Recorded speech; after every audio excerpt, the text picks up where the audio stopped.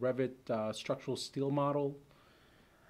And uh, then read all that data inside uh, or using Rhino inside Grasshopper, Rhino, and Grasshopper through Rhino inside Revit and hopefully try to set some project parameters and type parameters and then extract those project and type parameters from inside the Grasshopper window so that we could start, so that we could begin to build some sort of database that we could export out to Excel and then hopefully at some point visualize using Power BI. So this is a, um, a video and a series of videos that I'm hoping will all culminate in about four or five hours of uh, lessons. And uh, with that in mind, I think we should just dive in. So before we start, I I kind of gathered all these files for you just in case you don't have like as part of your Revit download installation process some of the families weren't downloaded or the templates or if you're using VPN it's very slow. So I created I downloaded all these files for you and compressed them inside this class session files. And this class session files I placed on the project server under the class uh, folder, course material, references, session notes, and there goes the compressed uh, folder. So you can unzip that at any point and then access all these files. So the crucial part, the crucial file in this list is this construction default.rte. This is a Revit template file that I would strongly recommend you, you using as a starting basis for starting a project and starting this project in Revit. Of course, if you're working for an office or if you have your own template, you can use those. I don't really care, but I like to start out with kind of a bare bones, you know, just a basic out of the box Revit template so that it doesn't have a lot of um, customization in it. In addition to that file, I also downloaded some families, structural uh, column and framing families that I would recommend you load into your project after you open up. And the other thing is I created this uh, shortcut here for your Revit default paths, file and folder paths. This is for your templates and family, your, your project templates, family templates, and then your library uh, catalogs. So you could just see how Revit organizes all that in, in case you can't find it as part of your default. So with that in mind, uh, let's go ahead and start. If you fire up Revit, you should just see this splash screen and we want to click on new. And then I want to browse for my template file. Hopefully on your screen this won't take as long. I actually attempted this video uh, right before this recording and it crashed my it crashed my computer and I think this is causing me a lot of um, a lot of trouble because I'm using a lot of a lot of VPN or remote connection services, so it's just taxing my bandwidth and my computer on top of trying to live stream a video. But hopefully I will at least be able to select this template. So I'm going to navigate to wherever I save that template. For you is going to be a bit different and then open it. And then the crucial step here is to make sure that um, project uh, project is selected, not project template. If you select accidentally select project template and say OK, that will open the template file, and we don't want to open the template file. We want to use it as a basis to create a new Revit project. So let's say OK here, and that should ignore this screen here. We'll go back to it in a bit. That should create a new uh, project file for you, project two. You could just uh, right away file, save as, and save it to wherever you desire with some unique name.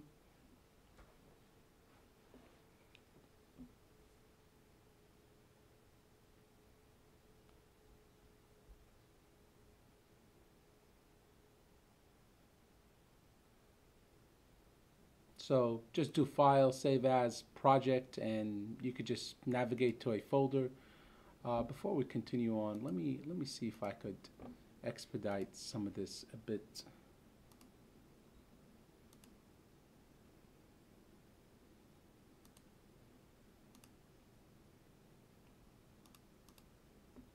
All right, I think this should probably get us going. So before I continue, I'm gonna kind of clean up these views. I don't want any of these views, I'm not gonna use them.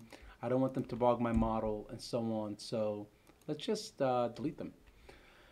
And uh, let's go scroll down to families and under structural columns and structural framing, I want to also delete the families that are available there. I know it says W shape, but this is not actually a smart structural um, family, uh, structural column family or framing family. These are just Revit defaults and they're not the right ones to use. And then the other thing I want to do is go to my north view and I basically want to delete, um, let's see, I want to delete all of these and then I'm going to rename some of these. So I'm going to name this level ground and yes, relabel that. And then this is going to be top of um, footing and this is going to be top of canopy and this is going to be top of scoreboard right so now I could just actually delete these views and then go to view plan view floor plan and then just select all of these and recreate them and now you have all of your correct floor plan views so I'm not going to actually attempt to load the families in this live stream, but you should do that on your own. Once you do, you will see that your uh, in, inside your family uh, family inside the project browser under families, you'll see that the wide flange column family is loaded. Um, and C channel family, and then hollow structural section and wide flange frame and family are also loaded. And I just loaded these types. You can load whatever types you desire. I don't I don't really care. And so to start modeling the structure, let's uh, let's just delete this and let's rebuild it. If objects are pinned, you can't delete them in Revit. So I started out, I'm going to delete these as well, and I'm going to go to ground, my ground level, so I always like to start out, those of you that have had classes with me will know that I always start out with a grid. There is no way I'll, I do anything without a grid. So I'm going to label this one and two. And then, by the way, to get to the grids, you go to Architecture tab, Datum, Grid. And then I want to basically create again, you could create whatever sample structure you want. I don't really care. This is just what I'm doing for this tutorial or for this um, session. I would advise you to keep your the distances between your grids kind of straightforward. Honestly, if, if you start using fractions, I don't know, just don't use that many fractions. That's that's that's a good rule to just always apply. So now I want to place columns at the grid. So I'm going to go to structure and click on column and on, inside my um, type uh, drop down menu I can select the column that I want. So I'm going to do this W33 by 169 column and I can just simply hover over and place this column on my grid intersections.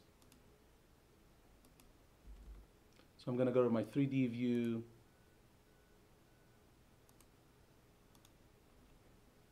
And here are my columns. I don't know, I think there's a section box on here and this is why I'm not seeing all of them. So I want to select all these columns and say, uh, I'm going to say they, they're going from the top of foundation to my top of scoreboard. How's that? So we can give them more, more of depth.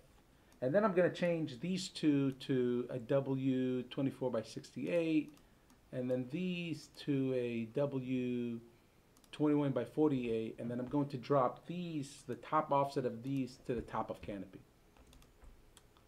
So now I'm going to go to top of canopy and now I want to create beams and I'm going to start out by creating a beam using a W21 by 47 and I'm going to simply create a beam from here to here, from here to here. You see that by default Revit kind of tries to adjust things graphically so that they could appear to look correct. This doesn't always follow the rule like well I guess in this case it actually did but sometimes it won't follow these rules and things will goof off. And in 3D it kind of looks correct. Again it's Revit's trying to do quite a bit. So sometimes if these connections don't look correct I wouldn't um, I wouldn't be that alarmed So from the cro- well, actually, I want to change these to not these actually these to W18 by 211, and then I want to create more beams across using a hollow structural section. I'm going to go from here to here, and from here to here. I'm going to change this back to a 14120 and go from here to here. So you see my structure is kind of slowly but surely building. So now I want to extend my structure a little bit outside my grid. So let's get a W18 to 11 and go from here out about, let's say 9 feet. There it is. Now I'm going to go to top of scoreboard and basically repeat the same process to continue on building this structure.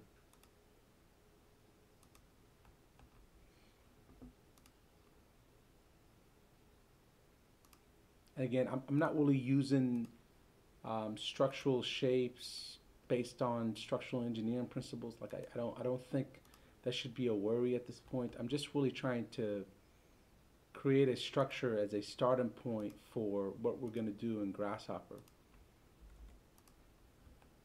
So this is starting to look like something. I want to add a little bit more detail to this, so I'm going to go back to the top of canopy, and now I want to add a a tube here. Let's do a 6 by 6 tube. And the reason I'm using a lot of different types of, um, it's not that many, but I want to I want to I want to vary the types essentially. This is what I want to do. I, I don't want to create the same type. I'm actually going to switch this to 10 by 10. And then if you notice that if we go to the side view here in the 3D view and switch this to wireframe, if you notice that this is top justified to be at the top of this um, I section, and I want to actually center justify this. So if you, while this um, hollow structural section is selected, you could just click on, um, let's see, origin. And then if this is a W18, I basically want to give this a, a negative 9 inch offset at each level. Or at least they're about, right? Yeah, I think that's, that's correct. Um, it doesn't look exactly centered, so what I would do there is I would basically create a section here. And then go to the preview in the section and what you could do is just simply measure the actual depth of the section. So you see it's a little bit more, I did select a W18, but the W18 was a bit more than W18. So when I measured this section here, I then copied this dimension so that I won't have to remember it. And then on my start level offsets, I can type in equals, paste in that dimension divided by 2, and then copy this formula and paste it into here. You see it's going to go above because I forgot to type in a negative value. Well, I can just go back in and type in a negative value That still didn't do it. Well, that's interesting. Let's see.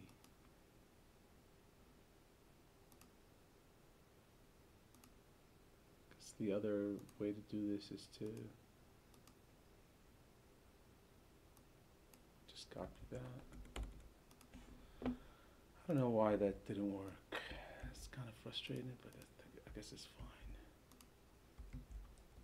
I think that should do it. So there it is centered, and then the other thing I want to do is basically left align this face, like so. And then let's just copy this from level to level.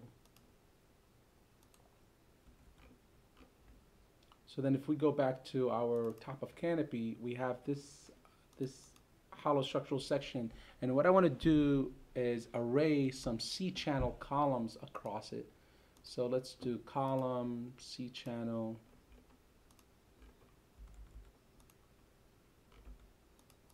Let's look at the C channel and see what is its.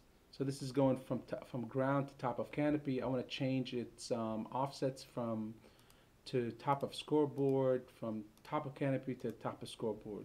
And then I want it to extend below the top of canopy by that much.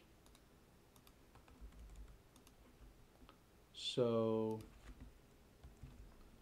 make sure to switch this to a negative value. There it is. So now let's go back to top of canopy or top of, yeah, top of canopy. Now I want to align the face of this C channel to the face of this tube. And then I also want to give this a specific distance and that distance is going to be three feet. And I'm going to copy this all the way across and then give that a specific distance from the center of my tube. I want to snap to the center of my channel as well and that's going to be three feet. And now I want to array these. Let's see let's get like 10 of them. Let's uncheck group and associate. Let's do an array and then to equally space them I would click on that first channel click on the last one and then click on everyone in between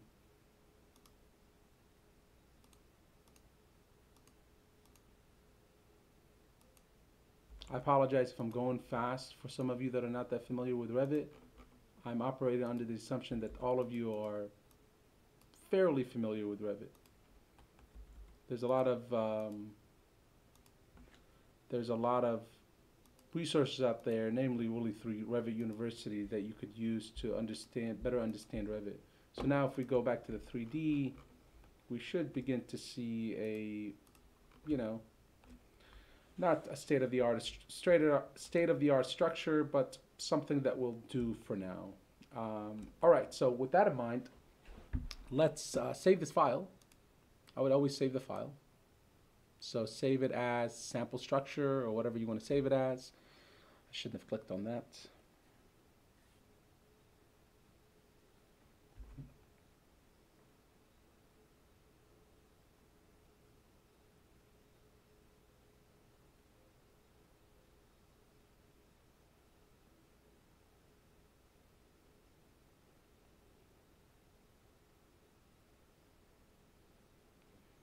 Uh, so just save it as sample structure. And let's go to add-ins just like last time and click on the Rhino WIP. That's work in progress.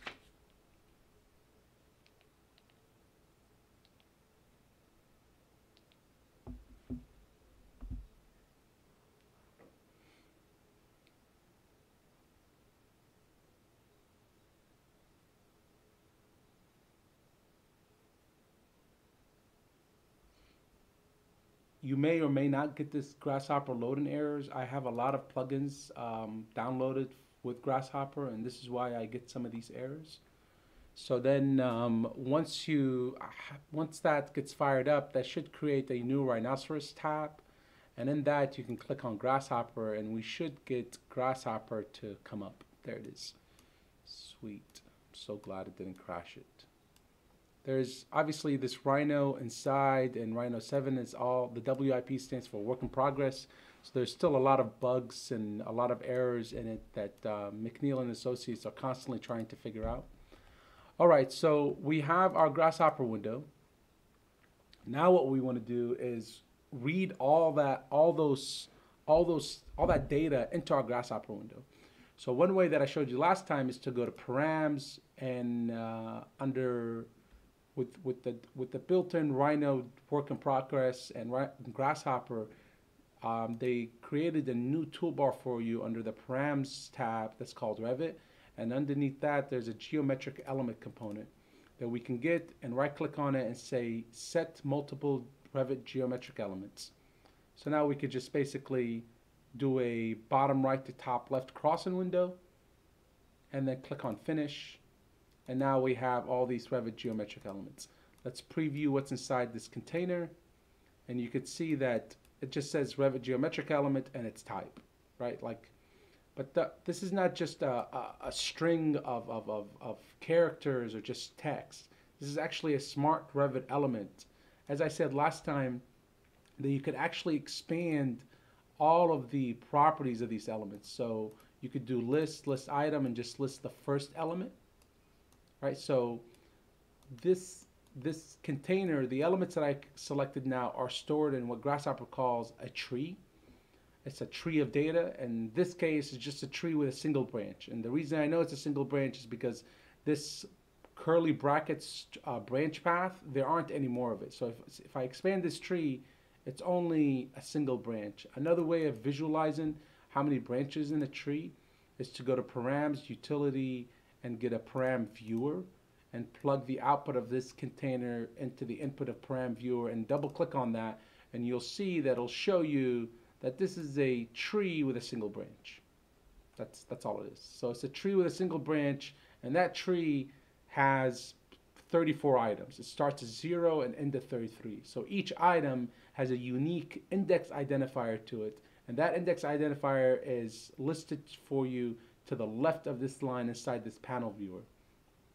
So what I what I did with this list item list item component is I basically told Grasshopper to list the first item of this branch inside this component and this is what's being previewed right now.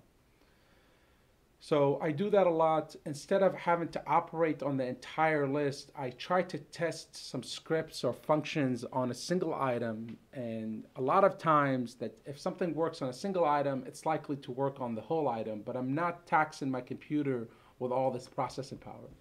So to get this component, the list item, you go to sets, list, list item, and then plug, pull, if you hover over the output of the Revit Geometric Elements container. It'll give you this squiggly line with an arrow. You can click and drag a wire and then click or hover over or get close to the input of the list item and then it'll snap to it and then let go of your mouse. So that's how you connect two components. All right, so now we listed an item. Now, if we want to preview what's actually stored in this Revit geometric element, the fastest way to do this or the quickest way to do this is to go to the Revit tab that um, McNeel Associates installed as part of the Revit default or the Rhino Inside default package. And under document, you can just say, I'm sorry, under element, you can say um, element decompose, and you can click, uh, connect the output of the list item into the input of the element decompose, and then right click on that and say get all parameters. And you see, here are all the parameters that are listed inside that element.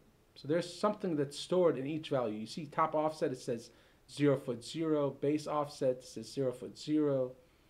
Top level, it says it's schedule. It's, there's, there's an element, there's some sort of parameter that's defined in there. So you can actually begin to preview some of these values. You see it says top of scoreboard, base level, top of foundation. I don't know yet which element this is so one way of identifying which element this is, I like to fire up my Rhino previewer actually. And inside my Rhino previewer, since I called or since I um, brought in elements inside my Grasshopper, my Rhino previewer now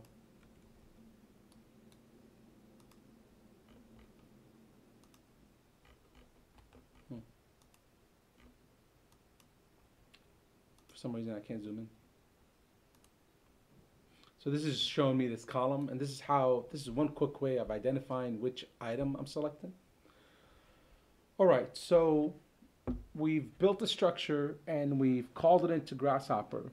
What I want to do now is basically find a way to kind of begin to apply specific parameters to these structures. But before I manipulate any of these parameters, these are the default parameters that kind of became built into uh, Revit. What I want to do is create my own type parameters and project parameters. So to create a project parameter, you go to Manage and click on Project Parameter. You should not see this index parameter. I kind of created that prior to this video. So your view, your dialog of project parameters should look something similar to this. And now we want to click on Add to add a parameter. And this is asking you if this is going to be a type or an instance parameter. So an instance parameter is going to be applied to every instance of the project for that specific category of elements. And a type parameter is going to be applied at the type level, right? So if I have uh, a 36 by 80 door and there's 10 of those, well, there's one type of that door, namely 36 by 80, but there's 10 instances of that door. So if there is a specific, so let's just say a material finish, a door's material finish could potentially change from door to door. that material finish parameter would be applied as an instance parameter rather than a type parameter because that parameter is going to change from instance to instance. But for example, the 36 inch width of the door, that should be a type parameter because that's a, uh, a parameter that gets applied to all of the doors if they're going to be all 36 inches. In this case, I want to create an instance parameter and the type of parameter is going to be a text. And I'm going to group that under um, identity data. Let's see, where's identity data? There it is. Uh-oh. And I'm going to name this parameter index. So this is going to be um, the unique index that I'm going to use Grasshopper to generate to then apply to every element. And then I want to tell Revit which model categories I want you to apply this type parameter, or I'm sorry, instance parameter to. So in this case, I want it to apply to structural framing and structural columns only. So make sure, make sure you click on check none and then click on structural framing and structural columns only. And say OK. Say OK. So now if you click on any element, you can see that the parameter index could be found here. Let's undo that.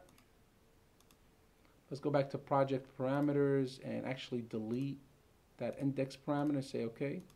If you select a column or a framing element, you notice that under identity data, there is no index parameter. So after you actually go through the process of creating an index parameter, you will see it would come up under identity data.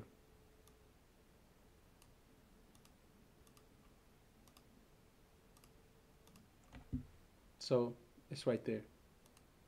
And it's same thing with the framing. So this will be a, um, this is a project parameter. To create a type parameter, we actually have to, a type parameter for that specific family, we actually have to edit the family. And in this case, what I want to do, uh-oh, I want to go to the project uh, family type properties dialog, right? So after I end the project, I should select the column and click on edit family. And then the, the family gets opened as a actual family file. This, if you notice here, it says .rfa, not RTE or RVT. So this is a family file. And inside that, under Create Properties toolbar, there is Family Types, Family Categories and Parameters. We want to click on Family Types. And notice that under family types, um, I have all these type parameters. So you see these type parameters change from type to type. Now, other than uh, under the type name, this says um, W18 by 76, I really don't have any other way to kind of get what kind of structural shape that is, whether it's a W or C or T or so on actually, now that we're on that subject, there's another structural shapes link that I gave you, and here's all the possible structural shapes available based on the AISC manual, right? So under the I-shape family, they come in W, S, M, and HP. Under the C, they come in C and MC and so on. So you can study this as much as you want. What I'm what I'm wanting to do is under this W shape, I want to create a type parameter. I don't want to rely on the type name here because anybody in the project could come in and edit that type name. And I don't want to edit the actual profile or, or AISC section profile type if that type name gets edited. So I want to create a new parameter. So click on this new parameter dialog box. And in this case, it's going to be a family parameter and it's going to be a type. And under here, I'm going to type in section profile. And it's going to be a text parameter, and I'm going to group that also under identity data. And say OK. So for this, for this type, it's going to be a W. For the other type, it's also going to be a W and so on. So you can you can fill in that um, value, that parameter value here, say okay, and then load it back into the project. And you should not say override the existing version and its parameter. You just say override the existing that's available. Now, if we um, go down all the way in our project uh, families, project browser families category, if we double click, double click on one of the columns, we should see the section profile with W. And then I also added the W for the 2148. Now we want to add it for, oh, I already added it here as well. Oh, I didn't think that would add it here, but I guess it did. So now we want to do the same thing for the Framin, the um, C channel family, and the tube family. So let's just take a couple of minutes to do that. It should be pretty much the same process over and over again. I strongly recommend that you actually do that over and over again. Make sure that whatever you put in here, section profile, it's exactly the same spelling, um, um, um, letter case, and spacing. It has to be exactly the same. Let's do text and then group that under identity data. And this is going to be a type. And in this case, this is going to be a W. Say OK, load into project, OK. And now I want to kind of work my way through and edit to the um, C channel column family.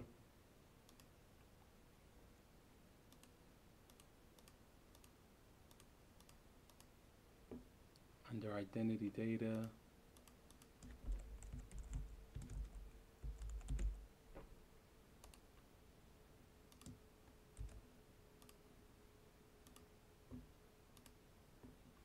And then we have one more, and then we should be done. We have our hollow structural section, frame and family.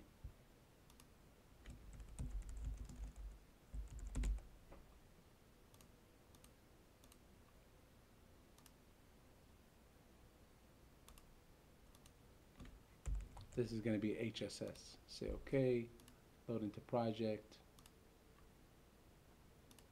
This is probably a good time to save. All right, so now back to our Grasshopper window. I want to actually close out of all these families. I don't want to save them.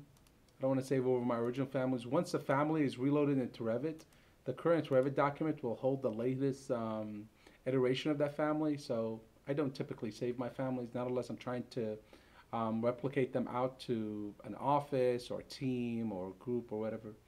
So now let's go back to our grasshopper. And if we click here, we should see index come up.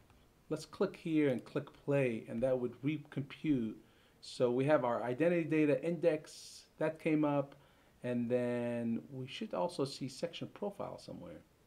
If I did everything correctly, at least. Maybe these are all just um, type, I'm sorry, um, pro project parameters and not project specific. I'm sorry, um, um, family specific. Yeah, so we have our index. So let's just plug our index into this panel. And what we could do is right click on this and say remove unconnected parameters. And that way we could preview our index. Now, I did say that you could just select elements, but another more efficient way I find, especially if you're if you're dealing with only um, one structural system, in this case it's just steel, it's not steel and concrete or steel wood and concrete and so on. There's another way to actually get all the relevant model information without having to select it. Let's kind of explore this this other technique for just a couple of minutes. So if you go to the Revit tab that's built into the Grasshopper from Rhino Inside, and we can go to document and document categories. Now we can plug that into this panel. We can see that this is this is listing all the available document categories here. And what we want is the structural framing stored at index 66 and structural column stored at index 61. So let's list these two. I'm going to go to list, list item, and I'm going to right click on index, set multiple indexes, and it's 61 and 66. So if I hover over here, it should give me structural columns and structural framing. All right, so now if I go back to my Revit tab, um, I could get a, let's see, I can do document elements. Go to document, document elements.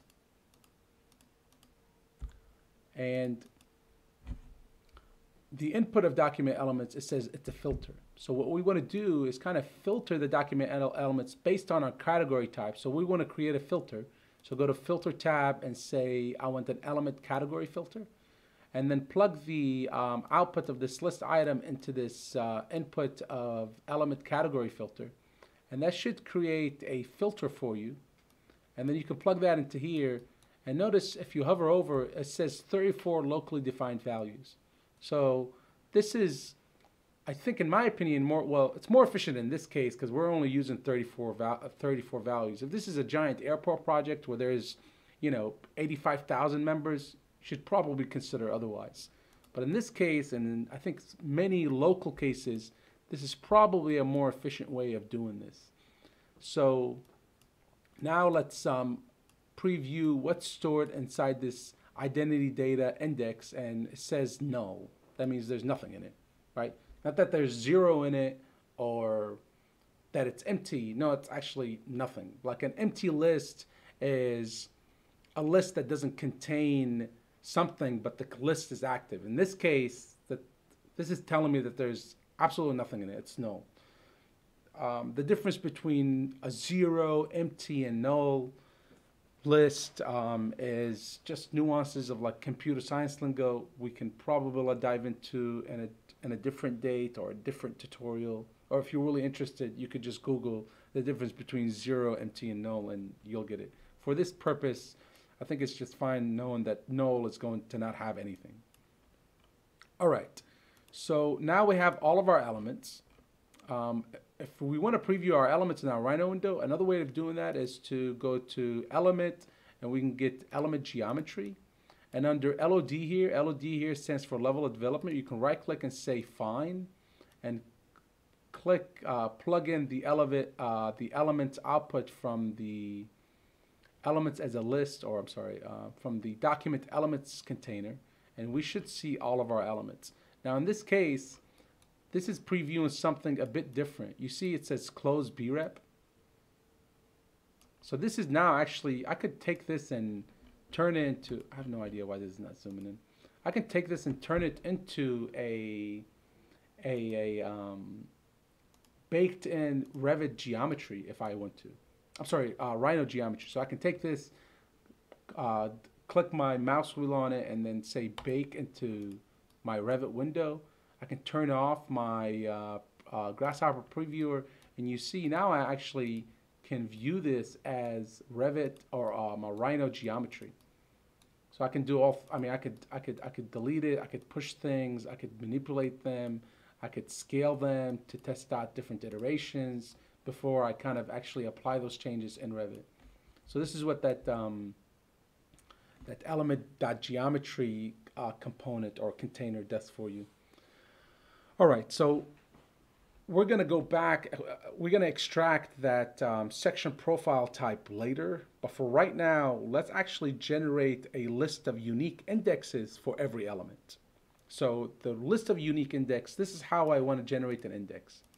I want to list out a type underscore location underscore ID.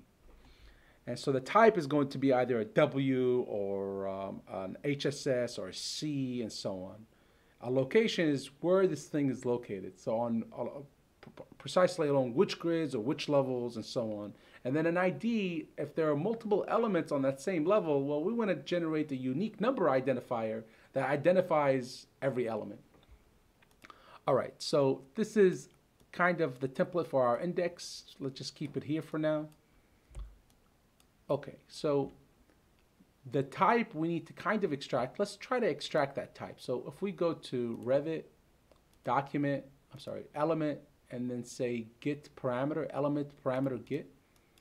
So the element that I want to operate on is this element outputs from the document.elements container, and then the parameter key is going to be the parameter that I typed in into my type properties. So this is going to be section profile. I really hope this works. I don't know.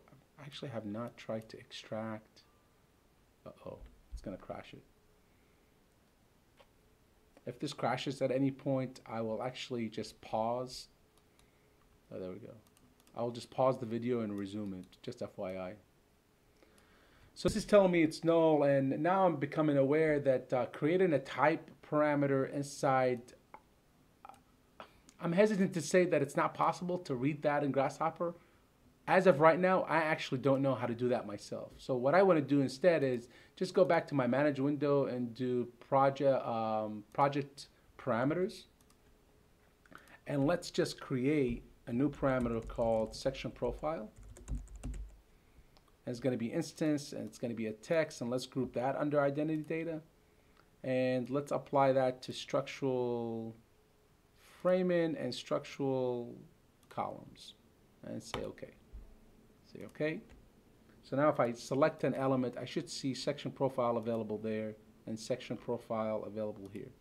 So one way to actually add in this value, so this is W, I could just simply select each one and say, well, this is a W, apply. Right, but this is not, this is not a really efficient way of doing it. Again, for this small project, there's only 34 members. There's, it's probably pretty quick to select all the W framing elements and type in a W. But what I want to what I want to do is have Grasshopper do that for me. So let's let's let's go back to Grasshopper. So this is the section profile. I want to disconnect it from this one and delete that one. And I want to set a profile, I'm sorry, set a parameter. So if you go to the Revit tab, element, and we want to do element parameter set. So the element that I want to set is this one. Before I just simply plug it in, what I want to do is create a condition uh, not a condition, a, a process so that I could control when, when a grasshopper is actually computing. So let's just go to sets, tree, and get a stream filter. And if we go to back to params tab, input, and get a Boolean toggle and plug that into this G or gate input, you notice that when it's false, this says um, the stream is zero. When it's true, it flips to one. So what I want to do is take the elements out of the document elements container and plug that into one so that when I flip this to true, it processes one. When I flip this back to false, it processes stream zero, which has nothing plugged into it. And that way I can control when Grasshopper is going to actually compute the process. So I can now plug that into the input of my elements, um, um, element.set parameter, I'm sorry, element that parameter set. So then the um, key, the parameter key is going to be the section profile. And the value is going to be whatever value. So this will be a W, this will be HSS, this will be a C, and so on. So the, the, the, the quickest way to get that, and this is assuming that every type name is correct. So if I go back, let's let's kind of delete this one. Let's keep this one on the side just in case we want to go back to it later. Let's go back to our Revit tab and do Revit decompose. Actually, no, sorry, not Revit decompose.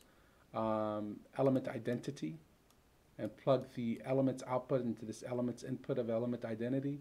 And this gives you a type name, element type and a category, I believe. So we want to process this type name, and you see that the first letter or everything after the first number, before the first number, is the type, the section profile type that we want to apply to that parameter. So we want to find a way to kind of actually process this list so that we could eliminate everything after the letters output. All right, so it's going to be a bit tricky because not all of them, we're not reading the first letter of every string here. It's in this case it's the first letter, in this case is the first three, not letters, characters. And in this case is back to the first character.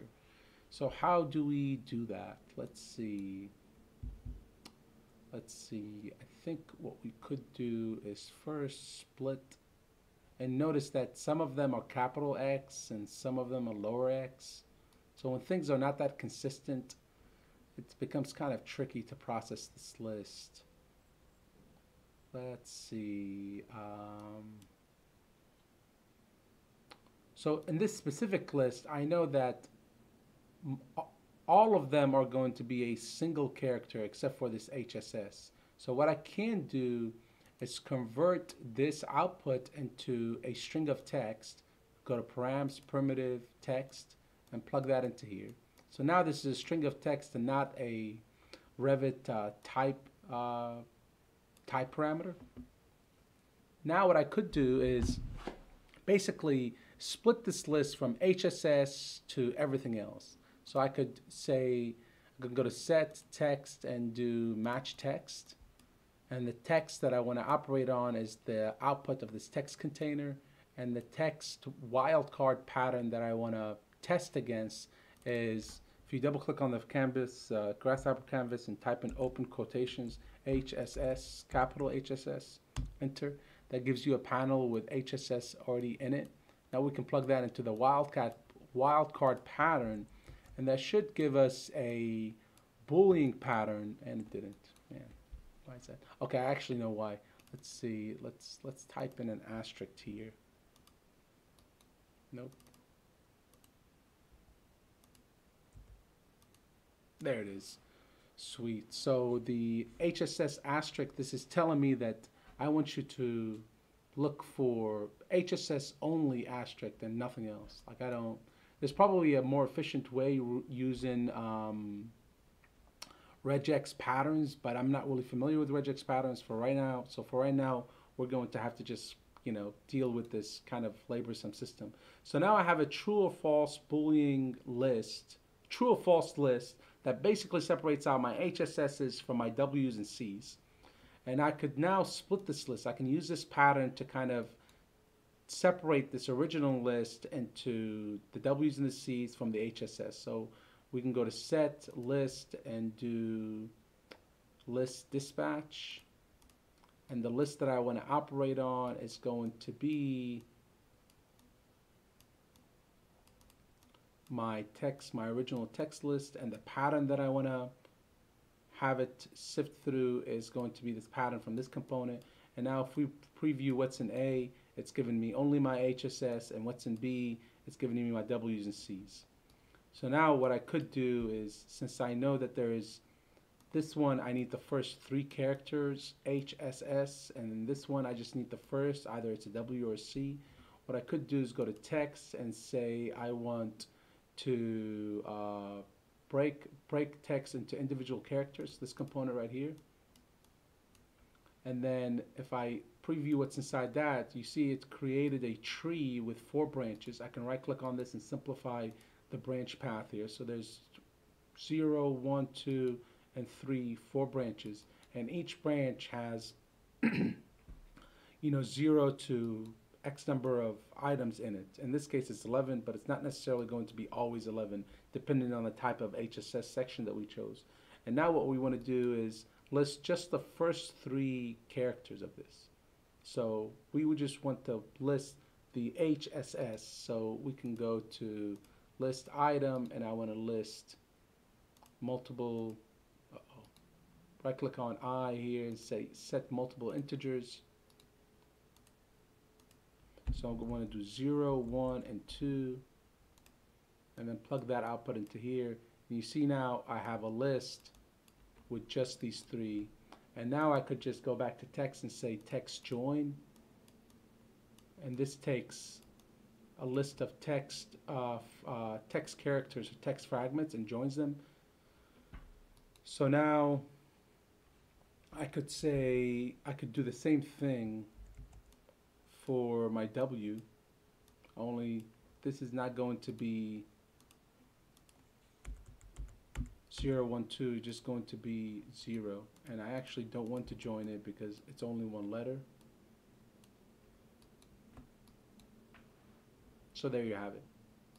Um, let's see, there's something, something throwing me off here.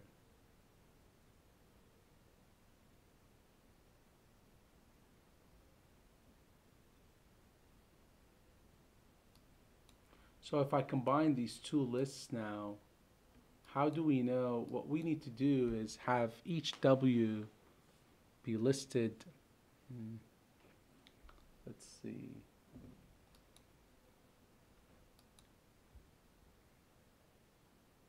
There might be an easier way to do this.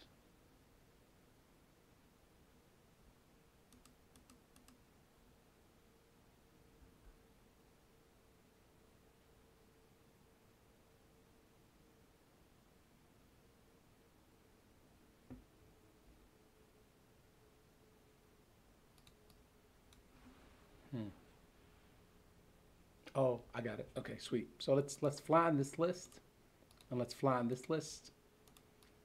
And now I want to apply this these this set of parameters to all of my HSS tubes, and these to all of my W and C sections.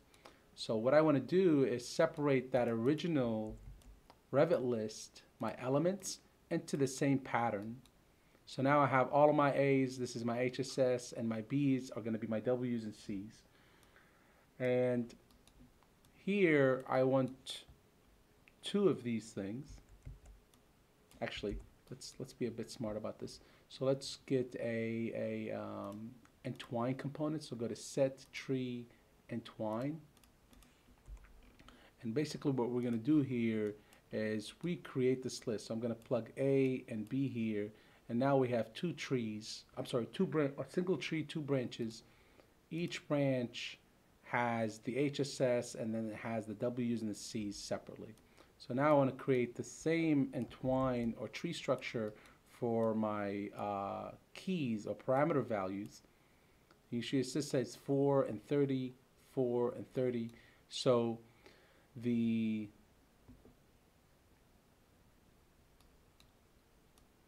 the elements that I want to feed into my one stream here and my stream filter component is going to be the one out of this flattened or uh, um, entwined component. And then the keys that I want to feed is going to be from here. Let's save this before we continue because this might crash it.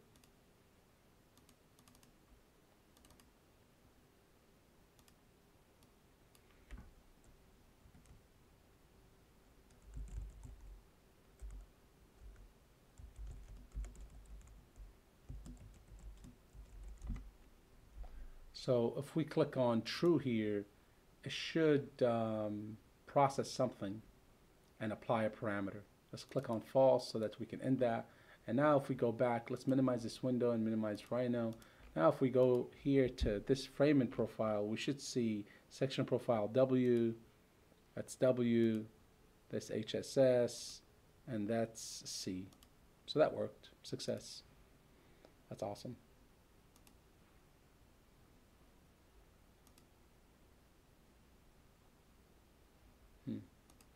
I don't know what's happening to my Rhino window. Up there it is. Sweet.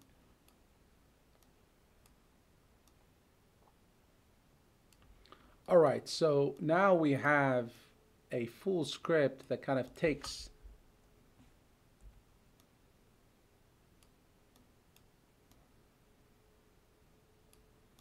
takes um, Revit geometric elements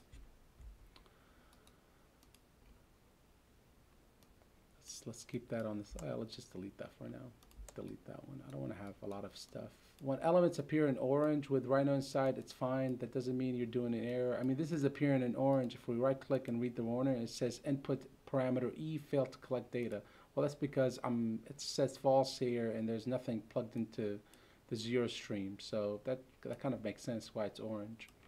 Here it's orange because something got processed and, you know, it says that this is not an absolute Revit element anymore, but it's fine. I think you could just refresh or, you know, you could open, close and open the file and that will, that will solve that problem. All right, so we just went through a script that takes the Revit structural steel elements, structural framing and structural columns elements. It um, separates out the type name and rebuilds the tree structure so that it, assigns the section profile type based on the unique element that's inside Revit. Now we want, now that we have all of these unique, um, unique types, what we want to do is start building our index. So I know from this index um, index breakdown here that the first item in my index is going to be the type, and the second is going to be a location. So the location I like to locate by level. So let's um, let's go back and repeat that element or the the um, Revit geometry thing again. So go to element, element geometry, and plug the elements into here. Actually, what I want to do is plug I want to create them. I want to, from now on, always use this list because my my data is, is my, my, my original list is kind of restructured. It's not just a single list or a tree, a tree of a single branch with 34 items. Now it's a tree of two branches with 34 items. The first branch has four and the second has 30. So I want to kind of feed off of that from now on and not the original one. And then switch this to fine and now I have my B rep at every at every condition. Now what I want to do is let's let's basically I want to find a for columns I want to find the bottom point and for the beams or the framing elements I want to find the center. So let's let's preview this in our Rhino window.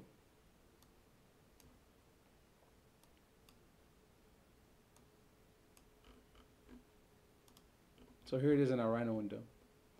Now you can see that this is just my column element and if I explode this, if I go to surface, analysis, um, deconstruct BREP,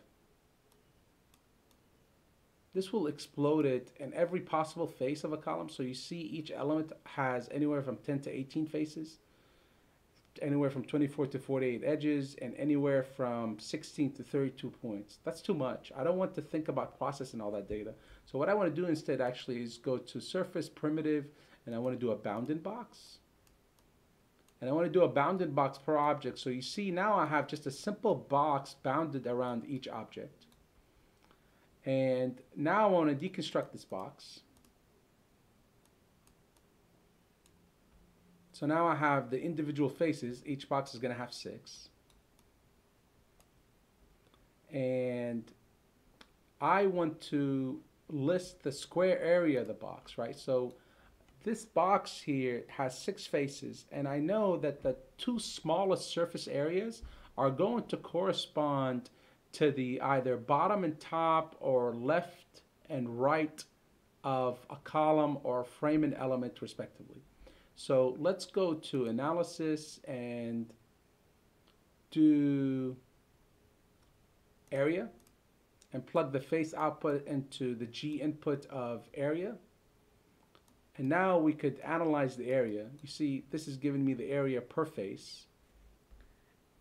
And I know that the smallest two are the, the smallest two surfaces on each bounded box. So what I could do is just sift this uh, or reorganize this this list here that so it can go from smallest to largest. So I can go to sets, list, and I can do sort list.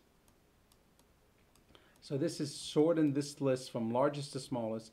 Now what I could do here is sort of list of values, similar values, kind of in, in synchrony with this component. So I can sort the faces, and now all of my faces are kind of listed from smallest to largest.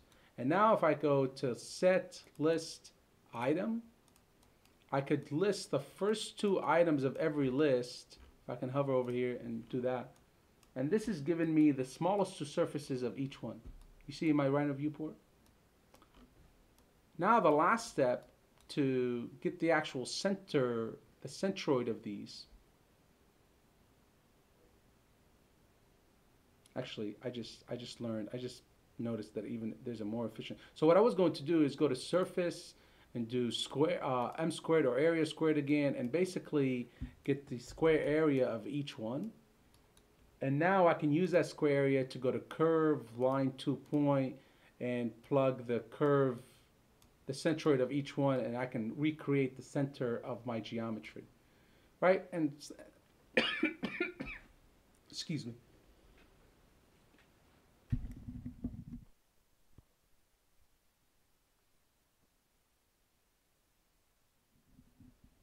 Excuse me, sorry. so I could do that, but there's another way to do that because this is already giving me the center point of each surface. And instead of filtering out the face geometry and synchrony with my area, I could just plug that into here. And then plug that into here, and then delete these two, and that should give me the same thing. So that kind of saved me a couple of components, which is kind of nice. I always like to, if I could simplify my script into just uh, two or three components, I will. Like that's that's the rule I essentially apply to myself.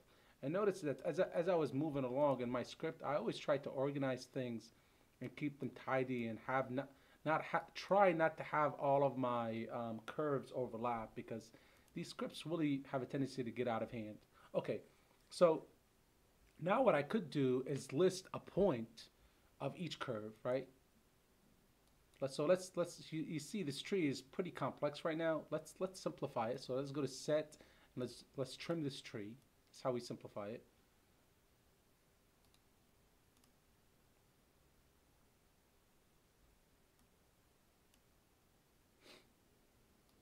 Uh, and I want to trim this tree one more time, actually.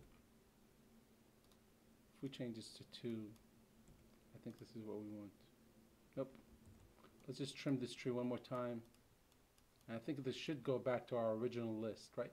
The first branch has 4, which is my H HSS tubes, and the second branch has 30, which are all my W and um, W and C channels. All right, so now I have this curve. What I could do is basically get the curve endpoints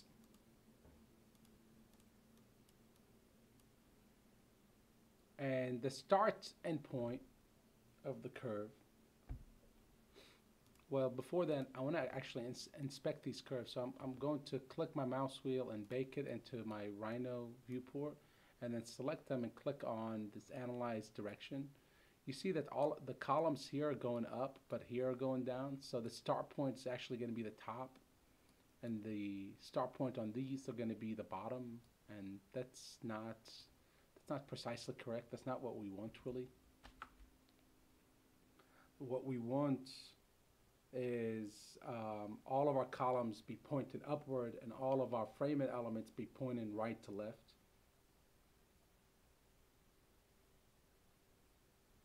Um, so let's let's flip all the directions of these in a single direction. Let's um, let's go to curve utility flip curve. So the curve that I want to flip is this, and the guide curve I want to kind of select a smart guide curve. So let's go to curve primitive and do line SDL. And the length of this line should be something completely absurd like a thousand the start of this line should be vector point and just an origin point. and the direction of this line, I want this line to go in the positive 45 degree direction and positive x, y, and z, if that makes sense. So I want it to go kind of just in the direction that so that I could, so that it could, it could always be in the positive quadrant. That's, that's, that's what I'm trying to do. So do that, I want to do a vector two point, and my second point, it's going to be an origin point, but I want to give it a one value for each axis. So if we zoom in here, this is my first point, and this is my second. You see my second is traveling in the um, positive x-axis quadrant, positive x, positive y, and positive z. So this is my direction now. And you see now my line is kind of shooting out in the positive quadrant. And now I want to use this as my guide curve and plug that into here. Now if I, let's delete these, let's see if my theory works. If I bake these into Rhino, and then analyze their direction, everything should be pointing in the right direction. So that now I know that if I list the start point of these columns, it'll always be the bottom point. And if I list the start point of these frames, it'll always be the left, either the left from the bottom or the left from the right. I'm sorry. Yeah, the left from the bottom or the left from the right. so let's delete these. I don't want them anymore. So now I want to get the z point or the z value of each start point. So go to vector and then we can do point deconstruct. And this is my z value right here. And again, notice that the tree structure is still structured in the same manner. You see these values are kind of all over the place. I, I can tell what, which ones are my columns because my columns were negative one. If you remember from Revit, I set my columns base to be to top of foundation, which is negative one foot below ground. So this is where we're getting that negative one from. Um, so, but what I really want here is is, is I kind of want to round these values. I don't want to use these as my values to index my elements because this is a very laborious number. So what I want to do is go to math, utility, and do round. Plug that into here, and I want to get the ceiling value or the top value, the top bound of this. Um,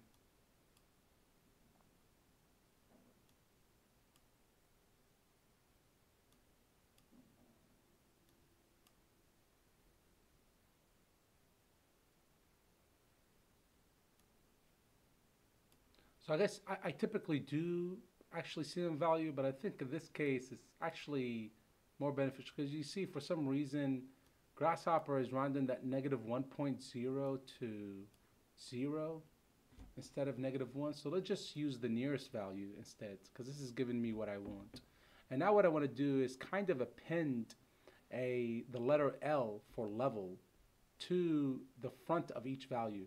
So what I want to do is is go to sets, text, concatenate, right click on this and symbol and under separator we want to type in, actually we don't want to do anything. We just want to right click on A, text and type in the letter L and plug the output of the nearest of the mathematical round container into B and then let's preview what's in that list. So you see it added L to 12, L to negative 1 and so on. That negative 1 is a bit tricky because it actually looks like negative dash 1. It's not, I'm sorry, L dash 1 instead of level negative 1. We'll kind of, we're, we'll pass that bridge later when we get there. But for right now, I think this will do. So this is our location.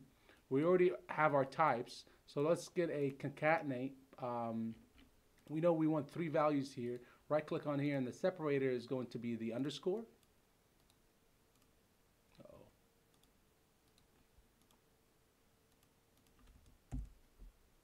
Right here. So the first value is going to be our um, type values here. And the second is going to be this location identifier. And you see our index is shaping up. And the last one we said we want to kind of generate a unique number identifier, right? So you see this HSS L12 and HSS L12 again. Well, how do I know which one is which? So I want to uh, apply a specific, like, I, unique identifier to each one.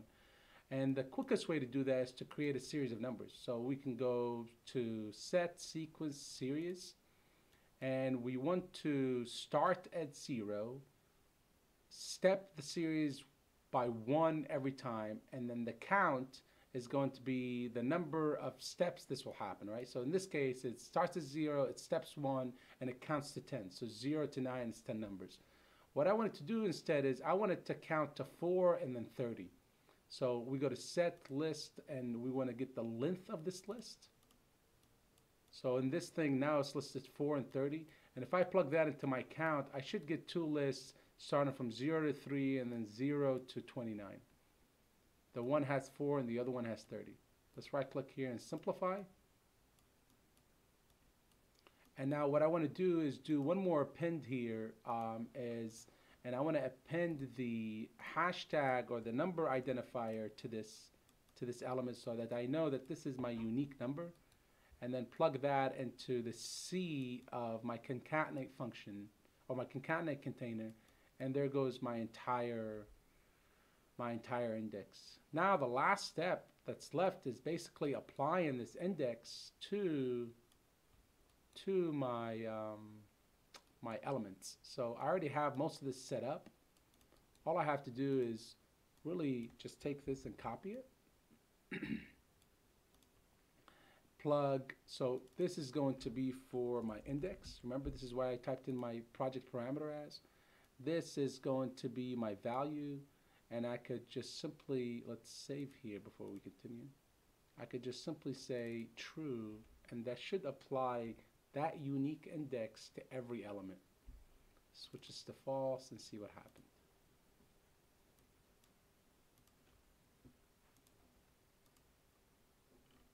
There it is. So I know that this is W section. It happens at L11 and it's number 8, right? It's a very unique thing, right? So this is, I know that this is a W section. It happens at level negative 1 and it's number 4. And it kind of does that over and over again. So this is going to be level number 29 and so on.